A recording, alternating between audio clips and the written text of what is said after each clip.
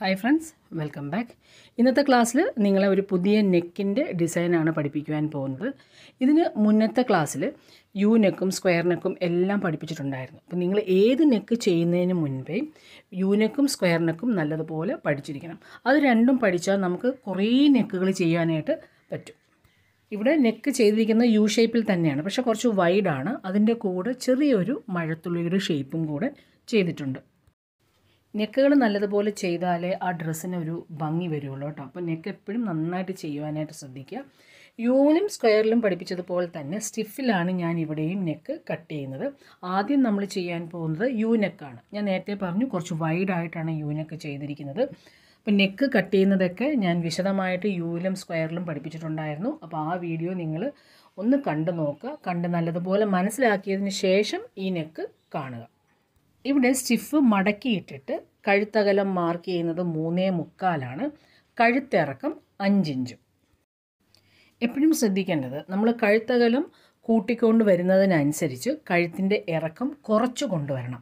അല്ലാതെ കഴുത്ത് അകലവും കൂട്ടി കഴുത്തിറക്കവും നല്ലതുപോലെ കൂട്ടി കഴിഞ്ഞിട്ടുണ്ടെങ്കിൽ നെക്ക് ഒരുപാട് തുറന്നു പോകും അപ്പോൾ അത് ഒഴിവാക്കാനായിട്ട് എത്രമാത്രം നിങ്ങൾ കഴുത്തകലം കൂട്ടുന്നു അതിനനുസരിച്ച് കുറച്ച് കുറച്ച് കഴുത്തിന്റെ ഇറക്കം കുറച്ച് കൊണ്ടുവരിക.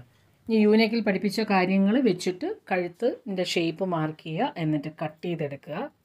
യൂനെക്ക് പഠിച്ചാൽ മാത്രമേ നിങ്ങൾക്ക് വൈഡായിട്ടും ഇന്നൊക്കെ നെക്ക് കട്ട് ചെയ്യാനായിട്ട് പറ്റുള്ളൂ. ഇത് യൂനക്ക് തന്നെയാണ്. ഇനി ചെറിയൊരു പീസ് സ്റ്റിഫിന്റെ കഷ്ണം എടുക്കുക. എന്നിട്ട് ഒരു മഴത്തുള്ളിയുടെ ഷേപ്പ് വരച്ചെടുക്കുക. എന്നിട്ട് നമ്മൾ യൂനക്കിൽ ചെയ്തതുപോലെ തന്നെ ഒരു അര ഇഞ്ച് വീതിയിൽ സ്റ്റിഫ് കൂട്ടിയെടുത്തിട്ട് ആ ഷേപ്പ് കട്ട് ചെയ്തെടുക്കുക. മഴത്തുള്ളി ഷേപ്പ് മാത്രമല്ല ഏത് ഷേപ്പ് വേണമെങ്കിലും നമുക്ക് ഈ രീതിയിൽ കട്ട് ചെയ്തെടുക്കാം. ഡയമണ്ട് ഷേപ്പോ സ്ക്വയർ ഷേപ്പോ അങ്ങനെ റൗണ്ടോ എങ്ങനെ വേണമെങ്കിലും കട്ട് ചെയ്യാം.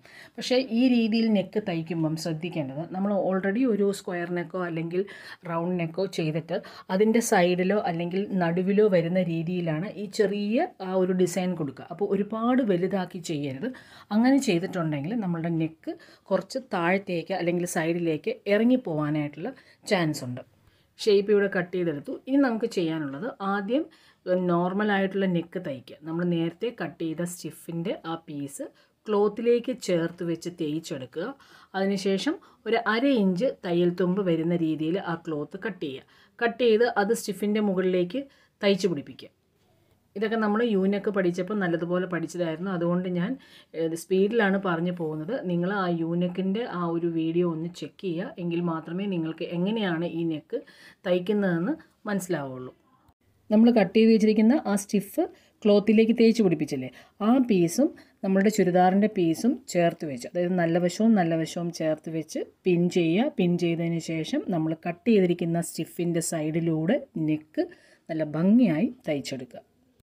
അപ്പോൾ ഇവിടെ യൂനക്ക് ചെയ്തതിന് ശേഷം അതിലാണ് നമ്മൾ ആ ഒരു മഴത്തുള്ളിയുടെ ഷേപ്പ് ചെയ്യുന്നത്. അപ്പം അങ്ങനെയൊക്കെ ഡിസൈൻ എക്സ്ട്രാ ചെയ്യണമെങ്കിൽ നിങ്ങൾ ഫ്രണ്ട് പീസ് തയ്ച്ചതിന് ശേഷം മാത്രമേ ബാക്ക് പീസുമായിട്ട് യോജിപ്പിക്കാവുള്ളൂ. അതല്ലെങ്കിൽ നമുക്ക് തയ്ക്കുവാനായിട്ട് കുറച്ച് ബുദ്ധിമുട്ടായിരിക്കും. ഇപ്പം ഇവിടെ ഞാനിപ്പോൾ യൂനക്ക് തയ്ച്ചു കഴിഞ്ഞു. അതിനി നല്ലതുപോലെ ഒന്ന് തേച്ച് റെഡിയാക്കിയതിന് ശേഷം മഴത്തുള്ളിയുടെ ഷേപ്പ് തയ്ച്ചു പിടിപ്പിക്കാൻ പോവാണ്. നെക്ക് തയ്ക്കുമ്പം നമ്മൾ സ്റ്റിഫെല്ലാം തയ്ച്ച് പിടിപ്പിച്ചതിന് ശേഷം മറിച്ചിട്ടിട്ട് അതിന്റെ അരിവിലൂടെ ചേർത്ത് സൂചി നോക്കി അടിക്കാം.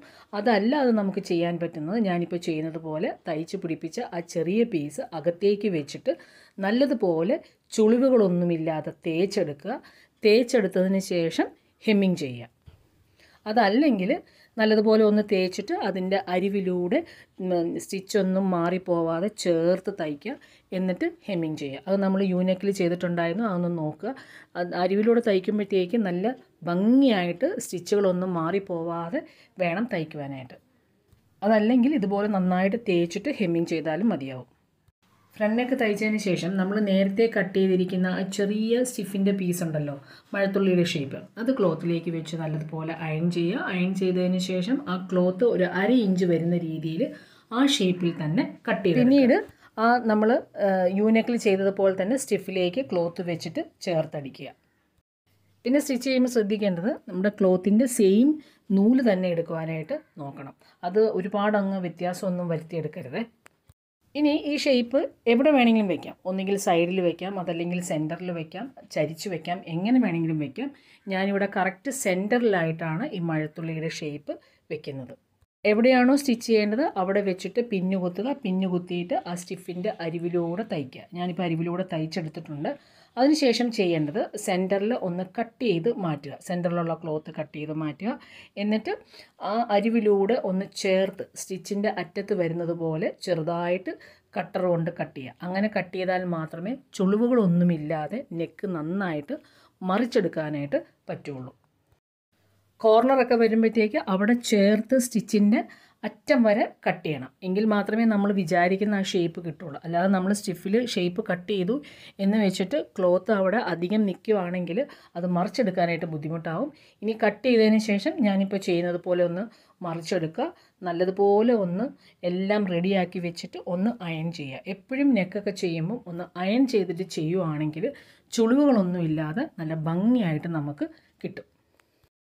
ഇത്രയേ ഉള്ളൂ നമ്മളുടെ നെക്ക്. ഇനി നിങ്ങൾക്ക് വേണമെങ്കിൽ ഒരു ഷോ ബട്ടൺ വെക്കാം. അതല്ലെങ്കിൽ ഈ മഴത്തുള്ളിയുടെ ഷേപ്പിന്റെ അവിടെ ചെറിയ കുഞ്ചലം തയ്ച്ചു കൊടുക്കാം. അത് എന്ത് വേണമെങ്കിലും ചെയ്യാം. അതൊക്കെ നിങ്ങളുടെ ഇഷ്ടം. ഞാനിപ്പോൾ ഇനി അതിനോട് ചേർത്തൊന്ന് ഹെമ്മിങ് ചെയ്ത് കൊടുക്കുകയാണ്. ഹെമ്മിങ് ചെയ്യുന്നതോടുകൂടി നമ്മളുടെ ഈ നെക്കിന്റെ ഡിസൈൻ കംപ്ലീറ്റ് ആയി. ഇനി ഇത് നമ്മൾ ബാക്ക് പീസുമായിട്ട് ജോയിൻ ചെയ്ത് എടുക്കുക. ഇപ്പോൾ ചുരിദാർ ഫുൾ സ്റ്റിച്ചിങ് നമുക്ക് പിന്നീട് പഠിക്കാം. നമുക്ക് ഓരോന്ന് ഓരോന്ന് സ്റ്റെപ്പ് സ്റ്റെപ്പായിട്ട് പഠിക്കാം. അങ്ങനെ പഠിച്ചാലേ നിങ്ങൾക്ക് ഈസി ആയിട്ട് മനസ്സിലാവുള്ളൂ. അതല്ലെങ്കിൽ നിങ്ങൾക്ക് കൺഫ്യൂഷൻ ആയിപ്പോവും ഇപ്പോൾ ഈ നെക്ക് പഠിച്ചല്ലോ. അപ്പോൾ ഇതുപോലെ നിങ്ങളൊന്ന് ട്രൈ ചെയ്ത് നോക്കുക. എന്തെങ്കിലും ഡൗട്ട് ഉണ്ടെങ്കിൽ നിങ്ങൾ കമന്റ് ബോക്സിൽ ചോദിക്കുക. അപ്പോൾ നമുക്ക് നെക്സ്റ്റ് ക്ലാസ്സിൽ പുതിയൊരു ഇൻഫർമേഷനായിട്ട് ഉടനെ തന്നെ വീണ്ടും കണ്ടുമുട്ടാം. Till then take care and bye friends